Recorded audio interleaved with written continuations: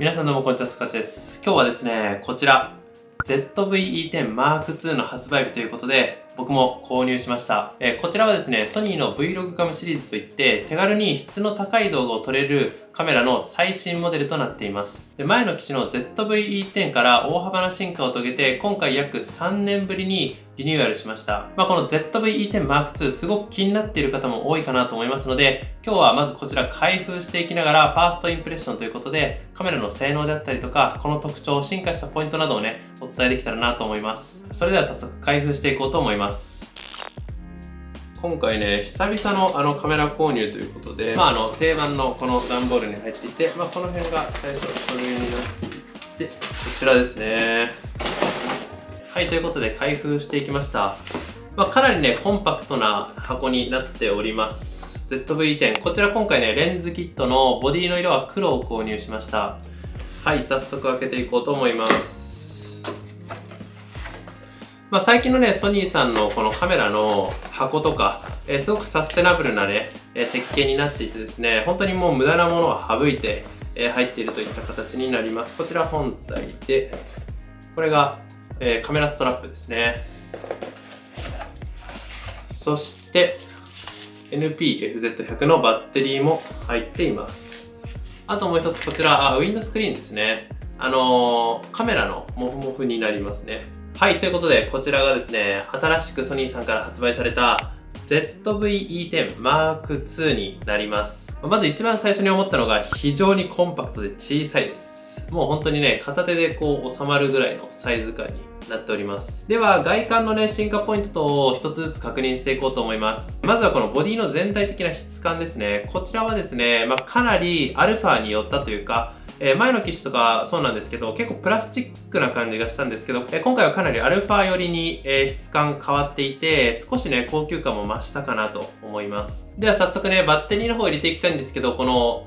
購入したばかりのバッテリーは、もうバッテリーがほぼゼロに近いので、ちょっと代わりのバッテリーを入れさせてもらいます。こうですね。はい。そして今回の ZV-E10 Mark II はこちらタリーランプがね、つくようになりました。動画を撮影してるときは赤く光りますので、で、前からこのカメラをね、見てこう自撮りするときとかもちゃんとこう録画ができているかっていうのを確認することができます。続いてグリップ感になるんですけど、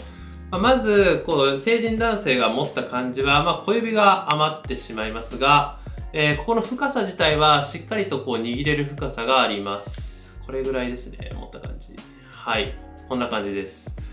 そして今回もバリアングルモニターを搭載していて、こちら、えー、進化してまして、約103万ドットのバリアングルモニターとなっていますので、まあ、α7-4 とかね、えー、あの辺りとほぼ同じような綺麗なね、モニターが積まれています。そして先ほども少し紹介したんですけど、バッテリーは今回 NP-FZ100 を搭載していますので、まあ動画の連続撮影時間とか写真の最大撮影枚数とかっていうのも非常にね、え、時間としても増えましたし、枚数としても増えました。えー、続いて記録メディアなんですけど、今回この本体横、側面に SD カードが入るようになりました。前回はこの下についていたと思うんですけど、これね、下についていると三脚とかをつけた時に非常にえ、干渉してしまう恐れがありますので、今回この横についたというのは非常に便利になりました。で、対応のメモリーカードも SD カードの UHS2 に対応しています。CF エクスプレスは非対応となっております。続いてカメラ上部になるんですけど、まずこちらですね。静止画動画スロークイックの切り替えスイッチがあります。あとはね、動画の開始ボタンであったりとか、そしてこのカメラ上部で最も注目していただきたいのがこちらですね。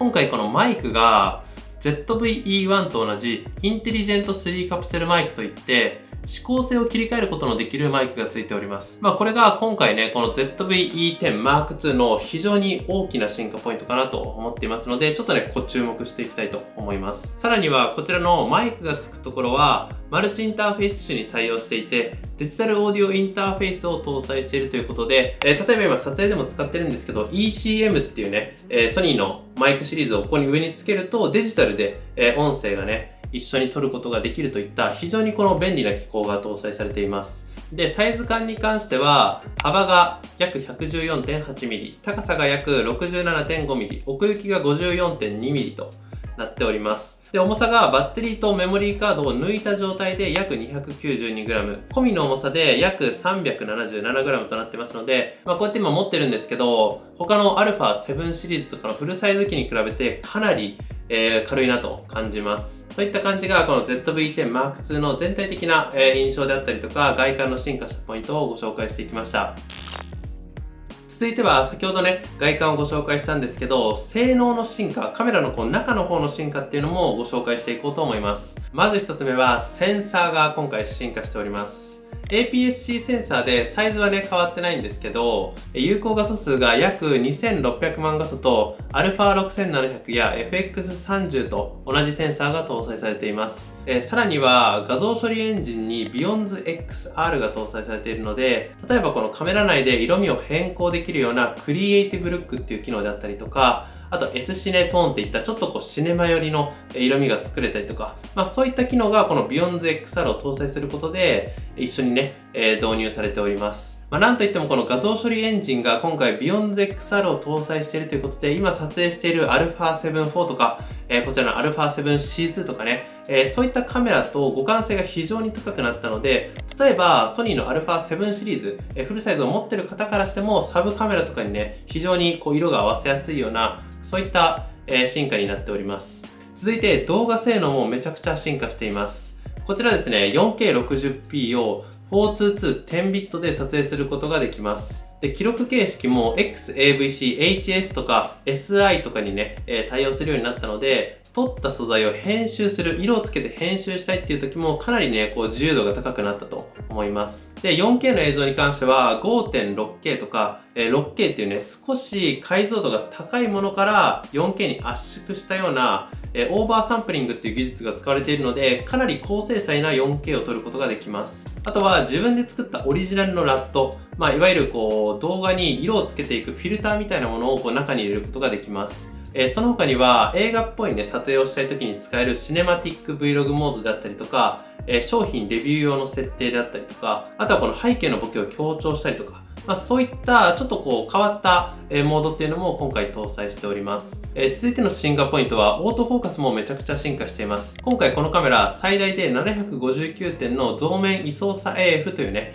えー、オートフォーカスシステムを組んでいてまあ、今こう撮影している α7-4 とかとほぼ同じような数値になるので、この辺りのオートフォーカスの進化というのも非常に期待できるカメラになります。で、ただし一つ残念なポイントとしては AI プロセッシングユニットという一番ね、最新の機種とかに使われているような AI でこう人の顔とかを認識するという機能まではちょっと今回搭載はしておりません。で、その他の進化ポイントとしては、こちらのメニュー画面とかも今回ね、新しく刷新されていて、まあ他の α の最新機種と比べてかなり直感的な操作ができる新しい UI のメニュー画面になっております。あとはこうやってタッチ操作にも対応するようになったので、この辺りも非常に進化したポイントかなと思います。そしてもう一つ大きな進化を遂げたポイントとしては、こちらカメラを縦にね、え撮影した時に、ここのアイコンとか設定の画面っていうのが縦に表示されるようになりました。まあ、この機能を使って縦向きの撮影、例えば、まあ、インスタグラムのリールであったりとか、え TikTok とか YouTube ショーツとかっていう縦向きの動画を撮影するときに非常に撮りやすくなったので、えこの縦 UI にね、対応したことによって非常に恩恵を受けるユーザーの方も多いんじゃないかなと思います。えその他にはブリージング補正機能であったりとか高分解シャッターといった、まあ、ちょっとマニアックなところまでちゃんとね、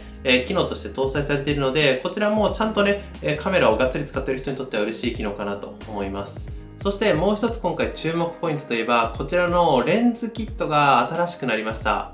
この PZ1650F F3.5 から5.6ですね。OSS2 というレンズなんですけどこのレンズもバージョン2になったことによって、まあ、非常にオートフォーカスであったりとか、え、画質映り、まあ、この辺りが改善されているということなので非常にね、え、使うの楽しみなレンズです。まあ、若干 F3.5 スタートが暗めかなと思うんですけど、ちょっとそのあたりも実際使っていきながらね、えー、今後感想等をレビューしていこうかなと思います。で、こちらのカメラのスペック上ちょっとネガティブなポイントだけ先にお話ししておくと、まずボディ面の手ブレ補正というのが搭載されていません。あと手ブレ補正のスタンダード補正というのも使えないので、この OSS と書いてある手ブレ補正の機能がついたレンズのみ、スタンダード手ブレ補正に対応しているといったところなので、まあ、あんまり手ブレ補正自体はね、えー、すごく強いものが入っているというわけではないので、こちらもね、えー、ぜひ理解しておく必要があるかなと思います。えー、その他には、こちら見ていただいたらわかるんですけど、EVF、えー、カメラを覗く穴がついてないので、まあ、写真を撮る方にとっては少し使いづらいかなと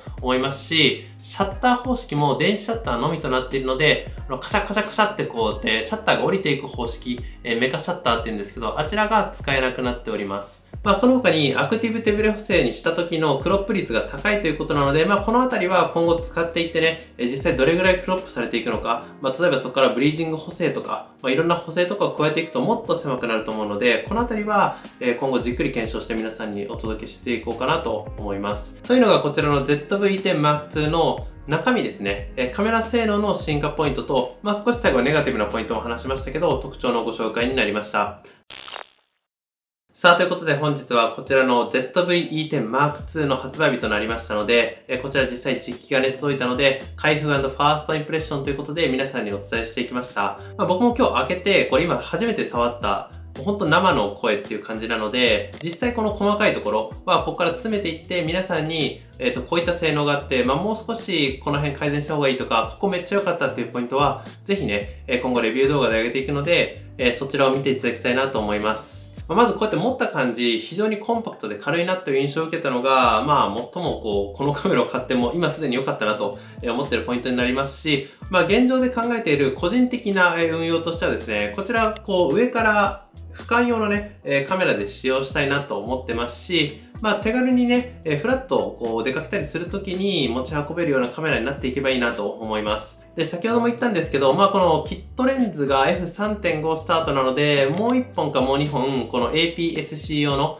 えレンズを買ってですね、もう少しこう充実させて、このカメラを使いやすくしていく環境も整えていかないといけないので、まあ、そのあたり APS 用のね、おすすめのレンズがあるっていう方はぜひね、ご紹介ください。まあ、個人的に今考えているのが、えっ、と、シグマの F2.8 の標準ズームレンズとか、あとまあ10、20の PZ、F4 のレンズとか、えー、そちらソニーのレンズになるんですけど、まあそのあたりがね、非常に相性がいいと聞くので、ちょっとそこともね、えー、試してみたいなっていうのが今の感想です。まあ、あとはね、これまでいろんなレビュー動画とか上げてきたんですけど、YouTube ショート、えー、まだですね、チャレンジしたことないので、まあ、この機会にちょっと縦型動画っていうのも撮ってみたいなと思いますし、まあ、これまでも結構時間をかけてがっつりこう、丁寧なレビューしていくみたいなチャンネルのスタイルだったんですけど、もう少しこう、カジュアルなレビューもね、できたらなと思いますので、まあ、そのあたりのこう、表現方法がね、幅が広がっていけるアイテムになればなというところも個人的な感想というか思いです。といったところで今日の動画はこの辺で終わっていきたいと思いますので、この動画がためになった参考になったという方は、ぜひチャンネル登録と高評価よろしくお願いします。えー、インスタグラム X との SNS もやってますので、ぜひ概要欄の方からフォローの方よろしくお願いします。